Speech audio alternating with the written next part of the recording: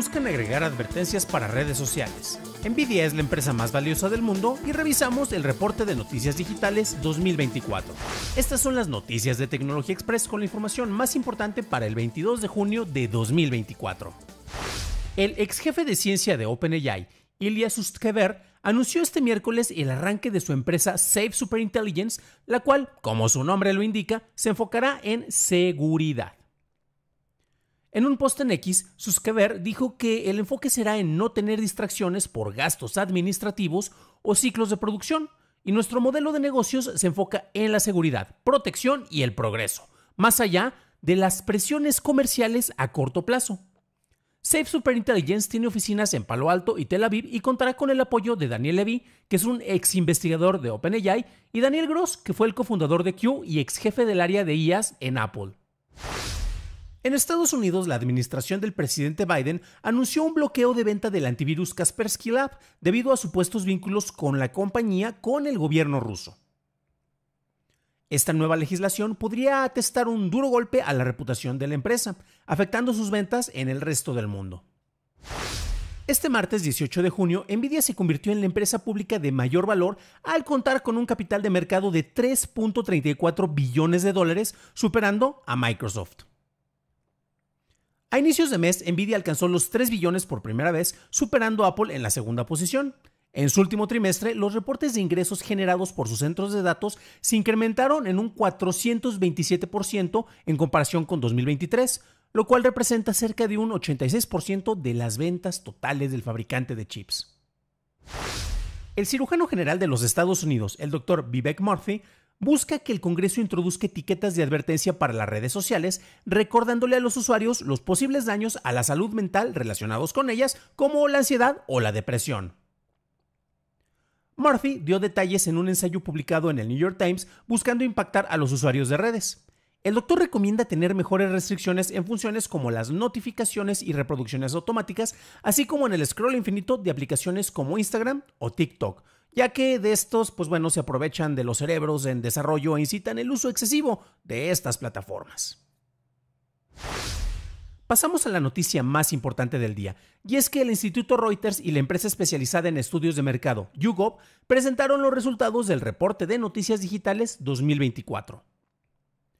Para este se consultaron a casi 100.000 consumidores en 47 países y entre los datos más interesantes está el ascenso del contenido en video digital para mantenerse informado, la caída de X, plataforma que perdió relevancia y es superada por TikTok como red social, así como los niveles de confianza de medios tradicionales o digitales en distintos sectores y países.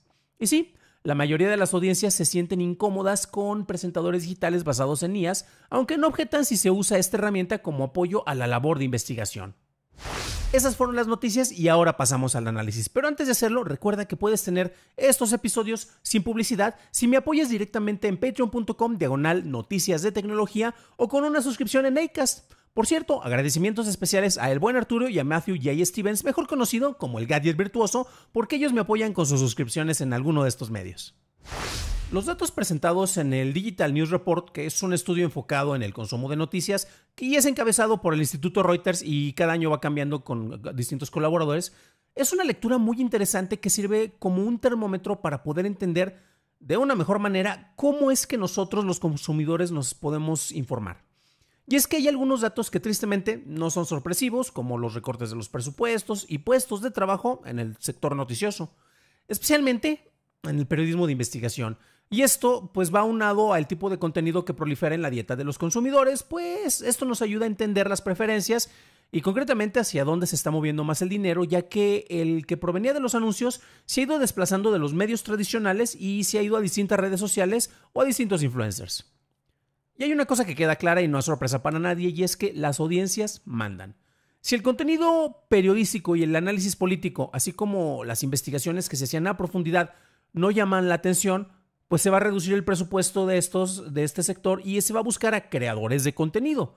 Y esto explica, por ejemplo, por qué medios como Radio Fórmula en México hayan dado cabida a figuras como Chumel Torres, lo cual no es algo nuevo, ya tiene años, y los pone en posiciones similares a la de periodistas y conductores de mucha mayor trayectoria como, no sé, López Dóriga o Ciro Gómez Leiva. Chumel, ojo porque ha trabajado bastante para establecerse como un referente, pero la capacidad de análisis de este y de su equipo palidece ante lo que se hace por otras personas que merecerían una mayor exposición, la cual no tienen debido a que pues, no atraen públicos que prefieren consumir noticias en YouTube o en TikTok en lugar de en medios más tradicionales. No sé si se acuerdan, pero hace algunos años Facebook engatusó a distintos medios para priorizarlos en los feeds de la plataforma y después eh, el mismo Facebook dijo, ¿sabes qué? El futuro está en el video. Y mientras que Facebook no fue el verdadero motor de esta etapa oscura en donde el ahora difunto BuzzFeed indicó la tendencia a seguir con sus titulares, ya sabes, de cinco razones por las cuales te interesará este artículo y no quererás el número 3, pues bueno, la realidad actual indica que herramientas como TikTok, Instagram y YouTube crecen más y es ahí en donde las audiencias están aumentando. Mientras tanto, el uso de Facebook, principalmente en Estados Unidos o en Europa, se ha ido disminuyendo y en este año la reducción fue de un 4%. Hablando de Facebook, y mientras que esta plataforma y Twitter eran las principales que se usaban para tener eh, difusión de información, siendo Twitter la mejor ventana en tiempo real de los sucesos que ocurrían en el mundo, esto se ha dividido y ahora tenemos que YouTube es la plataforma más usada para recibir contenido e información de manera incluso semanal, con un 31% de usuarios, eh, seguida por WhatsApp con un 21% de los usuarios totales que, fueron consultados en, estos estudios. TikTok tuvo un 13% y X, antes Twitter, cayó a un 10%, siendo que era una de las dos plataformas más importantes. Pero bueno, al mismo tiempo, el mayor consumo de videos se hace directamente en las plataformas y no en las páginas web de los editores de noticias. Y por ejemplo, para los que ven este episodio en video, me podrán decir si reciben el contenido porque tal vez están suscritos a una red, eh, a un feed RSS o lo ven en la página de Daily Tech News Show o se van directamente a YouTube. Es precisamente lo que está ocurriendo con, la mayor parte del contenido en video. Prácticamente ya las páginas web no sirven como para, para que ahí caiga el público a revisarlo, ¿no? Y es que, curiosamente, también revisando las plataformas, los periodistas de la vieja escuela o las marcas tradicionales todavía tienen un lugar muy destacado en estas viejas redes, eh, como las que son dirigidas por Zuckerberg o el mismo Musk actualmente, ¿no? Tenemos otro dato y vamos a hablar de cuestiones económicas porque el manejo de las suscripciones va a la baja. Y son los países que tienen economías más pujantes y estables, como por ejemplo Noruega y Suecia, en donde los consumidores son los que sí pagan por suscripciones a sitios o proveedores en mayor número, llegando creo que hasta un 60% en el, en el caso de Noruega. Y es que también el crecimiento del consumo de noticias en video no es algo que pase en todo el mundo, regresando a este tema, ya que el texto sigue siendo la versión preferida con mayor credibilidad. Sin embargo, el porcentaje de personas que están priorizando el consumo de videos cortos para informarse, TikTok por ejemplo o los reels de YouTube, eh, es muy alto, llegando arriba de los 80 o casi 90% en algunos mercados emergentes como ocurre en Kenia, Tailandia y Turquía, por ejemplo. Y en estos lugares supera el 80%, en Kenia creo que llegaba al, 90 y tantos.